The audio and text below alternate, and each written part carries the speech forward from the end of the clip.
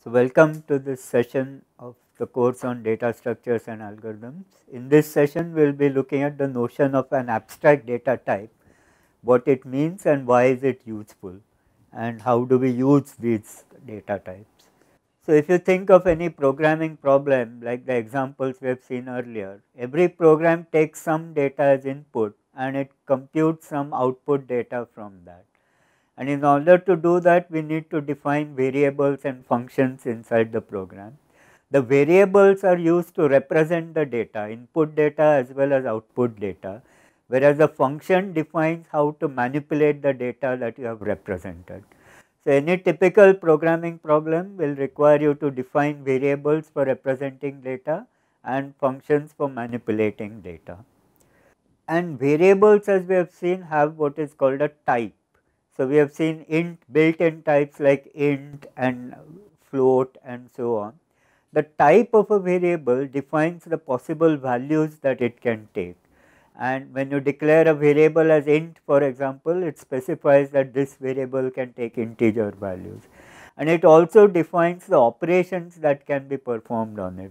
So, integers can be added, multiplied and so on and the type of a variable is actually independent of the data structure used to represent that variable, the actual programming language used or even the computer used. Hence, we call this type as an abstract data type. It only specifies what are the possible values of that variable and what are the operations it, that can be performed on it. It does not say about how the variable is represented inside the computer or which programming language is used and so on. We are only worried about the possible values and how you can manipulate those values. So, as examples we have this integer type. Informally we know integers are all numbers 0, 1, 2, 3 and so on and their negations. The operations are plus, minus, star and so on. The abstract data type integer is actually an infinite set. There are an infinite number of integers. You can go as large as you want. But the built-in data structure or data type called int is a particular implementation of the abstract data type integer. So, it actually cannot represent all possible integers. As you know it int is typically 32 bit or 64 bit so, there is only a finite set of integers that can be represented by the int variable. So, it is a particular implementation of the abstract data type integer. However, when we want to work with integers, we do not really care about this restriction. We think of integers as abstract objects on which you can do arithmetic operations and other operations and then choose the appropriate data structure for representing integers so that our operations work correctly. So, there is another built-in data structure called long int or long int also which implements the same abstract data type. The only difference is that it can represent a larger set of values than what the int type can represent. So, if int is 32 bit, long long int would typically be 64 bit so, you can represent larger integers using that. However, when we are working with integers, we would rather not think about these restrictions. We think of integers as an infinite set and on which we can perform these operations. So, if you look at another example of real numbers, so possible values of reals are all fractions, decimals like 2.5, 1.333 pi is a real number whose value is 3.1415926. It is an infinite expansion. So, you cannot actually represent pi exactly inside the computer. Each real value has an infinite decimal expansion and there is no way you can write down all those infinite digits exactly.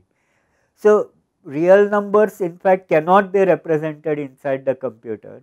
However, we think of real numbers are abstract objects with certain properties and we can work with real numbers as easily as we work with integers and then we have built-in types available which represent real numbers approximately. So, reals is an abstract type which has this set of possible values and these operations. Float, double and so on are implementations of that type which impose some restrictions on what values can be represented but when we work with real numbers we would rather not worry about those restrictions. we think of real numbers as abstract objects on which we perform operations. So, we think of reals as an abstract type and these as data structures which implement that abstract type with different restrictions. So, there can be errors in the representation of reals and you may need to choose different data structures to reduce these. The built in data structures may not be adequate and so on. However, all of them implement the same abstract data type real numbers. And why does this help? So, this allows us to separate the implementation of a data type from its definition. So, when I define an abstract data type, I am only talking about what are the possible values that that type can take and what are the operations that can be performed and this can be defined independent of any programming language or any computer or any specific data structure or implementation of the type. Right. So, in a programming problem we just first need to define what are the abstract data types that we want to work with and what are the operations that we want to worry about. The actual implementation of these types and their use can be done separately and for many common data types we already have either built in types available or libraries available which give you implementations of those types.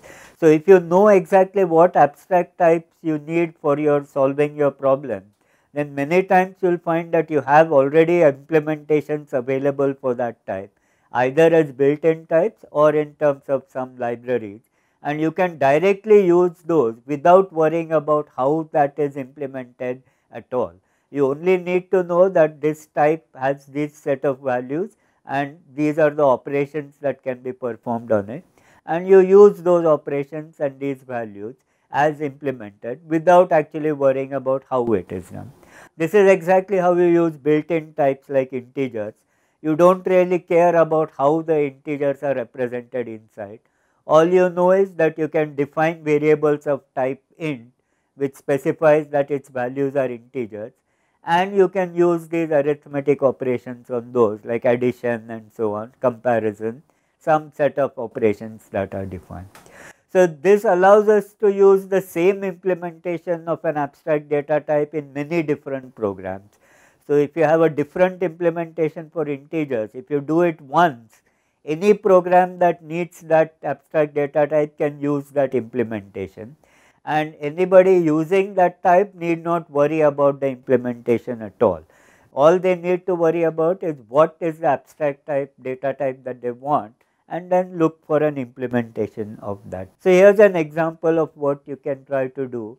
So, here the rational numbers is another type right. So, we know that a rational number is a ratio of two integers but there is no built-in type available to represent rational numbers.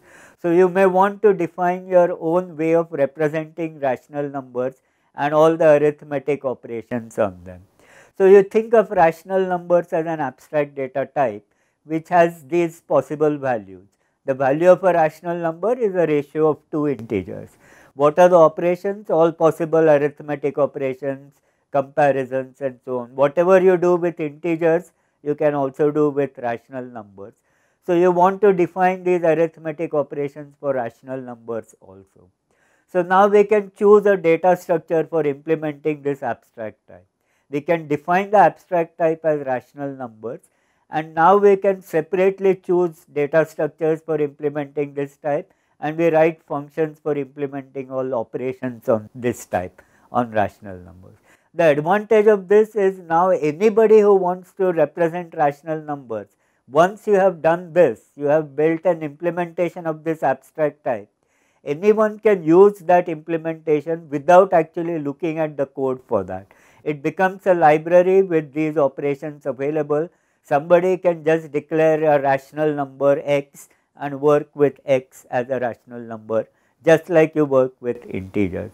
So, the same implementation can be very easily used in many different programs because we know it implements the same abstract data type called rational number which has these values and these operations that can be performed on it.